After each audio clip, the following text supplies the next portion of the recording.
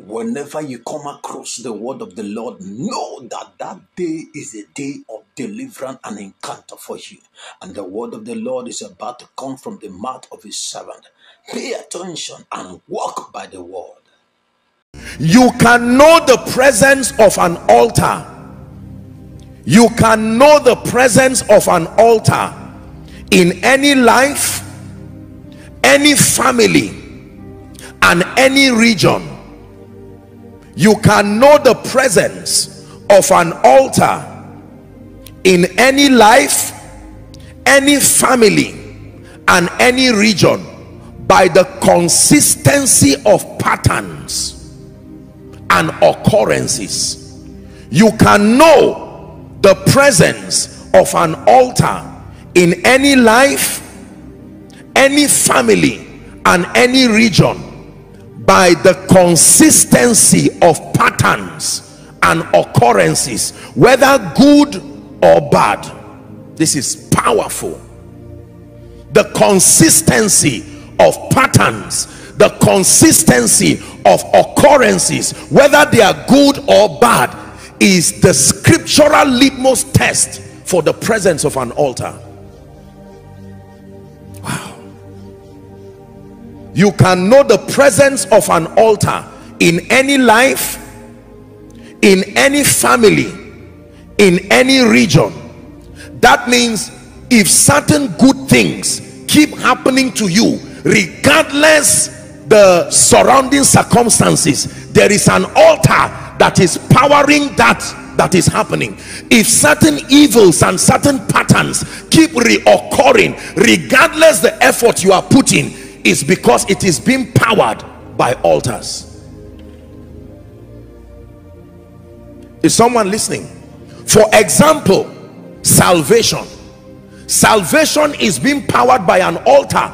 That is why any day and any time anyone confesses jesus you don't have to be there. An angel does not have to be there to supervise it. There is an altar already that supports that ordinance that whosoever believes in the name of the lord that person shall be saved. And the altar that powers that statement is the very throne that god sits on. Are we together now? Yes that means you don't need to travel from america to nigeria to be saved like to give your life to jesus christ. Regardless location regardless time regardless age regardless gender you can listen to a message of T.L. Osborn, even though the man has died but the message is powered by an altar because the truth is communicating there is from the word of God. And if you believe that message you can repent there and give your life to Jesus. And the altar that was connected to that statement makes that statement true in your life immediately. If salvation were not powered by an altar it would be impossible for all men to be saved.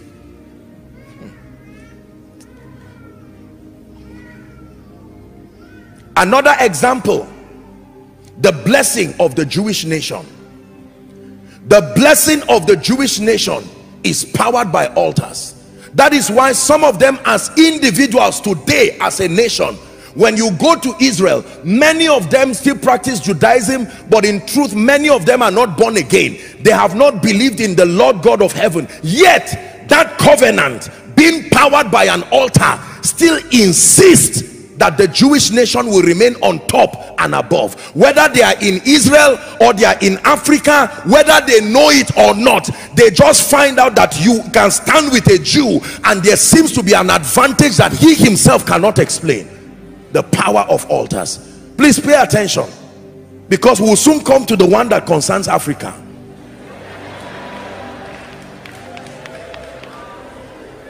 Are we together? Look up please salvation is powered by an altar. That is why jesus does not have to come physically and start running from room to room and say look at me i'm the jesus you are talking about. Are you interested? From one position and one location the effect becomes the same everywhere his name is called. Now an example of negative altars. Are you ready? The one we saw is an example of positive altars an example of negative altars. All kinds of wrong addictions. All kinds of negative patterns are powered by altars. All kinds of wrong addictions please write. All kinds of negative patterns are only there and remain because there are altars that power them. Let me list a few of them for you listen if i am listing this and it ever affects you just know that whether you admit it or not it confirms the presence of an altar. Are you ready? Number one it, mysterious diseases and infirmities. The presence of mysterious diseases and infirmities whether as an individual or a family or a territory powered by altars mysterious diseases and infirmities. Usually these diseases you see are also passed through the bloodline. Father had it mother had it brothers had it. Now there may be a medical explanation and medicine is there as a symbol of God's mercy. But I am telling you using higher spiritual intelligence those sicknesses can only remain because of the presence of altars number two all kinds of sexual perversions. Please write. All kinds of sexual and immoral perversions are powered by altars. It does not matter how sincere the victims are. That's not the issue. Is that there is an altar that powers it. All kinds of sexual perversions. That's why you can hear of stories of an adult you know doing something funny with a minor and a baby and it does not make human sense. But this is about altars. I'm sorry to say it but this is also what has generated into these various versions of perversions we have in our society. The victims do not even know what is drawing them. That's the point I'm trying to tell you. It's not just about your will alone. Is that there is a force that is operating on legal basis. Number three depression and mental health issues. Most of this depression and mental health issues now there are things that have to do with fatigue and all of that but for most people they do not know that most mental health issues need more than counseling. It is the presence of an altar. When jesus saw madmen listen watch what the madman in gadara notice what the spirit did. He was always hiding in caves and hurting himself depression and mental health issues. Number four witchcraft and idol worship. Here you go. Witchcraft and idol worship. You will be amazed at how many christians today love god sincerely but something keeps drawing them back to still revisit foundations of idolatry. It does not matter whether you're a man of god. It does not matter whether you're a businessman there's something in you that still makes you comfortable. There's one small portrait in the village that was kept there. It was handed from great grandfather to grandfather and they said if you speak to that portrait it can bring results. You can serve god and give but when the going gets tough as you travel to the village as you are passing you just see that thing and something within you witchcraft and idol worship. Look up please. There are you've you've seen us pray for these people during miracle services. There are many people some of you looking at me right now. Based on the ordinances of priesthood you are supposed to be the one they hand over some of those things to. But you just said i've given my life to jesus christ. I'm not interested. And the altar said it's not about whether you are interested or not find out how I came into being first. And you just generally sweep it under the carpet. And he says all right you go. And you find out all kinds of things begin to happen. I'm not scaring you. There is victory at the end of this teaching but you must know what is there. You don't gain victory by running away from the truth. You gain victory by knowing the truth stagnation and delays altars. Stagnation and delays altars. Believe me altars.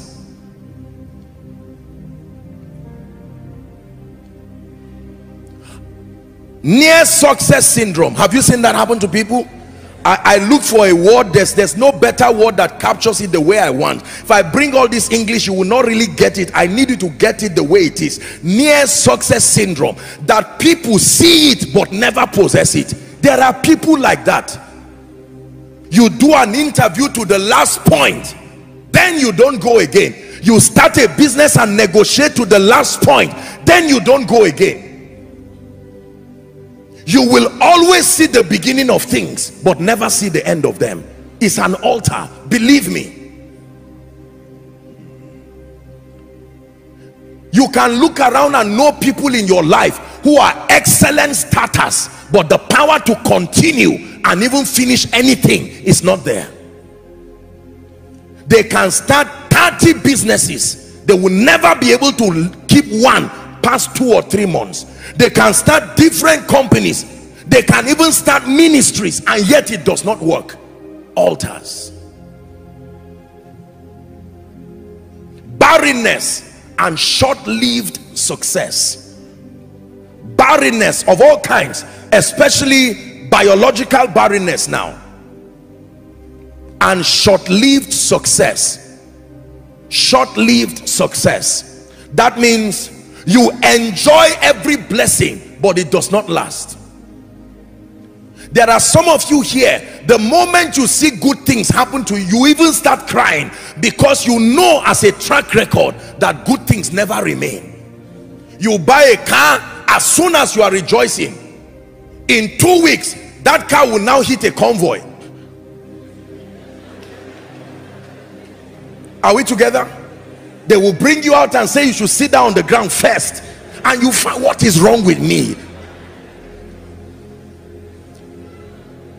As soon as you are preparing to go abroad your visa just comes out. Next thing you will see police they will say theft was happening somewhere and they join you with all those to interrogate. For the next two months your passport has been seized until you find out what is going on. I know you may be laughing but pay attention. Short-lived success barrenness.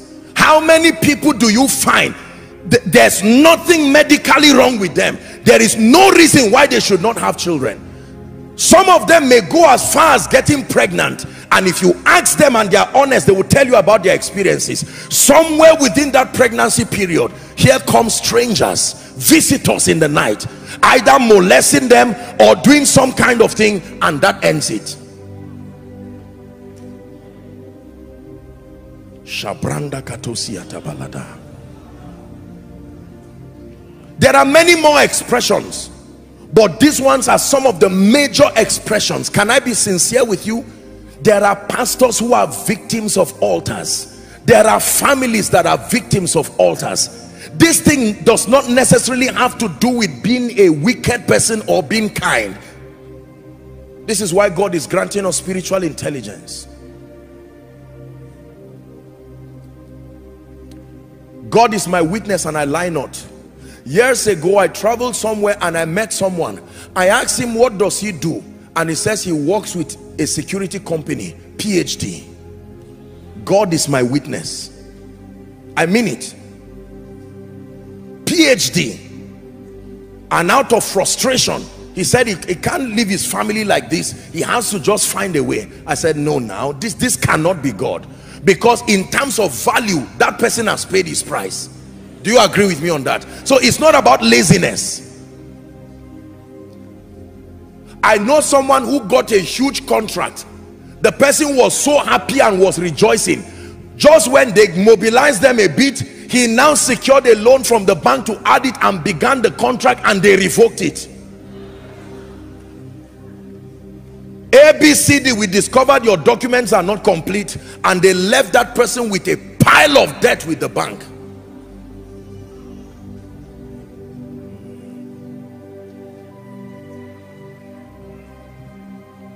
in the name of Jesus Christ everything that is not of God and everything being powered by any altar this is the night where we will scatter it once and for all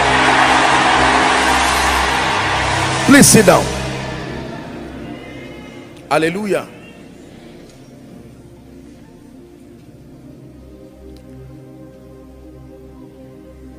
So you know the presence of an altar in a life by the continuity of patterns and occurrences. Not to play with your mind but great grandmother was raped grandmother was raped mother was raped. Different scenarios the same effect. It is more than just coincidences. You are the only one who is calling it coincidences. Have you seen people who spend 10 15 years abroad even 20 years and you go and find them in the village sitting down?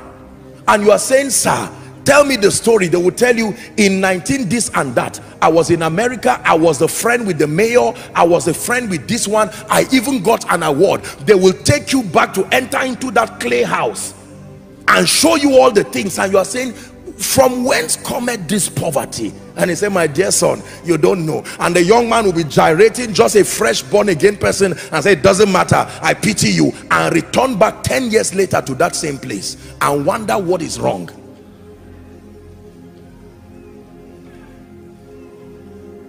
listen. How many of you know about a man called Jabez in the Bible? Ladies imagine if Jabez was your life partner. No no no no no don't insult the guy. He won at the end of it. I'm just saying imagine. You would be surprised that after dancing and rejoicing you start going down and not know why. Can i tell you this these are some of the things that prophets detect by prophecy. And because many of them respectfully speaking are not sound in the word they call the victims witches and wizards. They are just detecting the presence of altars but it does not mean the individuals are necessarily bad. It is true. Association can help you partake of altars that is upon the lives of people too. Oh yes. Oh yes. Oh yes. Oh yes. Oh yes. When the realm of the spirit is against you it will also be against anything that supports you. When God was against Jonah remember Jonah chapter 1 Jonah was running away. He simply entered a boat. All the people who were the passengers there did not know that such and such a person. Now forget who was against him. The most important thing is that the realm of the spirit was against him. You would think he only jumped into the belly of the fish alone but they had lost things because of one person. The same way jesus was inside a boat and those who would have died were preserved because of his presence. Do you know the meaning of that? It means because of what you are learning tonight everybody around you will now finally be a partaker of this blessing. In the name of jesus christ. The formula always remains that when he sends a word to jacob he intends that it lightens upon israel. So for some of you as you are listening right now the holy ghost is telling you this is what i've been trying to tell you are you seeing what kept mama down? Are you seeing what kept your dad? What kept your siblings? Now you are the reed that god is taking out of fire. It's important to pay attention. For the sake of those who have gone ahead of you and for the sake of those who are coming please sit down. Go and read the history of america and find out that when they are where that nation was about to be born they erected an altar and called upon the name of the lord officially and said god we are officially saying you are the god. That's why regardless what happens that altar still speaks. Because based on the law of cause and effect many nations should not be where they are economically. Yet there is an altar that seems to veto these limitations. Hallelujah. Now please look up many of our forefathers great grandfathers in and territories from the sincerity of their heart. Many of them out of fear of being victims of wars poverty and whatever. Many of them went to meet the devil because it was these deities that many of them knew. And so they met them on legal basis and had all kinds of fraternities and partnerships and different altars were enacted. Today the people who were part of that program are long gone. But altar does not know time. No. 10 years is only 10 years to you. 200 years is only 200 years to you. Read your bible. Where jacob had an encounter in chapter 28 that was where abraham built an altar. Abraham built an altar there. Now his great grandson his, his great his um great grandson came there and slept in the night. Whether he slept or not that altar was working every day. It just so happened that he now slept and found something that was already there was a procession angels ascending and descending. Hmm.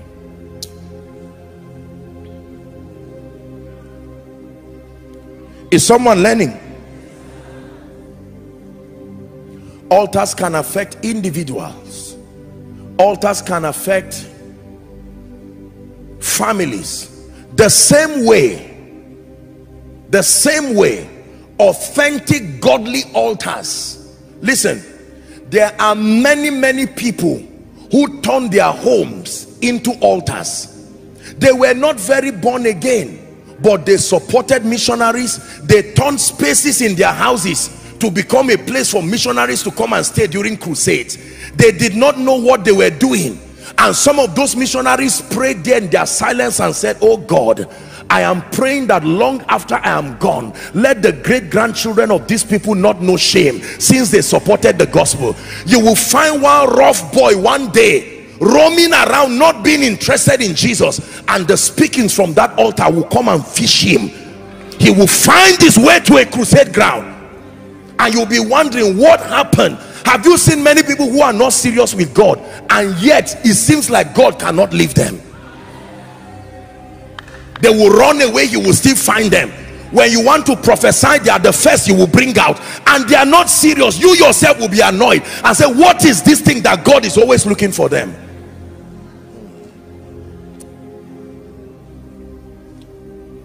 How altars work. Let's hurry up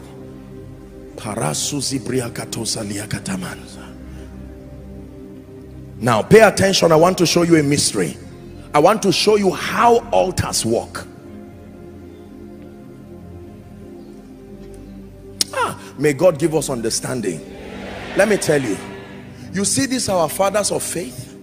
The level of results they are commanding believe me if you think it is just based on intellect think again you see this our nation and africa the kind of trouble we are in if you think it's just a political trouble think again. Do you not see the consistency of the operations regardless what government comes? It is an altar my dear people more than just who is there or who is not there